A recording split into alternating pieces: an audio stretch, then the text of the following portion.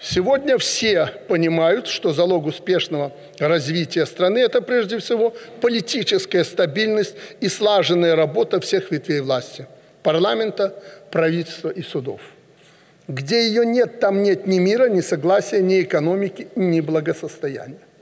Новый парламент должен стать центром прогрессивного законотворчества. Для реализации этой цели вам необходимо руководствоваться главными двумя правилами. Первое – принятые поправки и законы прежде всего должны отражать реальные потребности наших граждан. Не надо летать в космосе, надо смотреть на жизнь и делать все, чтобы жизнь эта была лучше. А для этого надо идти не по понятиям, а через законы. Второе.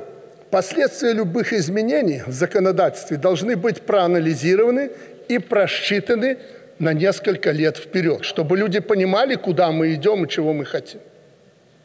В ближайшее время всем вам предстоит сообща решать важнейшие актуальные вопросы, которые волнуют общество, а значит являются приоритетными целями нашей государственной политики.